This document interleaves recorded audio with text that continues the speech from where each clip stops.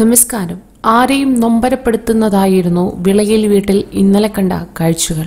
തിരുവനന്തപുരത്ത് പഴവങ്ങാടിയിൽ റോഡ് മുറിച്ച് കിടക്കവേ ബൈക്കിടിച്ച് മരിച്ച വടക്കേ മൈലക്കാട് വിളയിൽ വീട്ടിൽ ഡെന്നിസ് ഡാനിയലിന്റെയും ഭാര്യ നിർമ്മലയുടെയും മൃതദേഹം വീട്ടുമുറ്റത്ത് എത്തിച്ചപ്പോൾ നെഞ്ചു പൊട്ടിക്കരയുന്ന രണ്ട് പിഞ്ചോമനകളുടെ കാഴ്ച കണ്ടു നിന്നവരെ കണ്ണീരിലാഴ്ത്തി.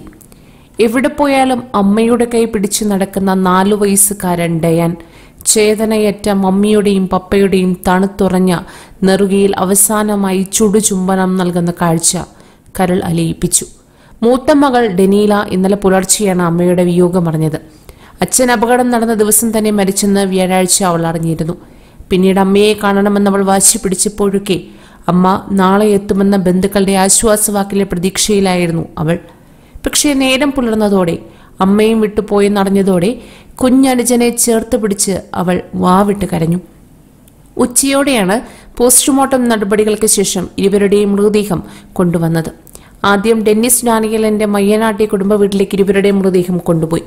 അവിടെ പൊതുദർശനത്തിന് വെച്ച ശേഷമാണ് വടക്കേ മയിലക്കാട്ടേക്ക് കൊണ്ടുവന്നത്. രണ്ടു മണിക്കൂറോളം വീട്ടിൽ പൊതുദർശനത്തിന് വെച്ച മൃതദേഹത്തിന് ആദരാഞ്ജലികൾ അർപ്പിക്കാൻ നാട്ടുകാരും സുഹൃത്തുക്കളും ജനപ്രതിനിധികളും രാഷ്ട്രീയ നേതാക്കളും ഉൾപ്പെടെ ഒട്ടേറെ പേർ എത്തിയിരുന്നു. നാല് മുപ്പതിന് വീട്ടിലെ ശുശ്രൂഷ ചടങ്ങുകൾക്ക് ശേഷം ഇരുവരുടെ മൃതദേഹം സമീപത്തെ സെന്റ് ജോർജ് പള്ളിയിലേക്ക് കൊണ്ടുപോയി. ബുധനാഴ്ചയാണ് ഡെന്നീസും നിർമ്മലയും തിരുവനന്തപുരത്ത് പഴവങ്ങാടിയിൽ ബൈക്കിടിച്ചു മരിച്ചത്. വിദേശത്തായിരുന്ന ഡെന്നീസ് കോവിഡ് മൂന്നാം ബൂസ്റ്റർ എടുത്ത ശേഷം ശാരീരിക അസ്വസ്ഥത ഉണ്ടായി. പിന്നീട് നാട്ടിലെത്തി തിരുവനന്തപുരത്തെ സ്വകാര്യ ആശുപത്രിയിലെ ഒരാഴ്ചത്തെ ചികിത്സയ്ക്ക് ശേഷം വീട്ടിലേക്ക് മടങ്ങവെയാണ് വിധി ഇരുവരെയും തട്ടിയെടുത്തത്.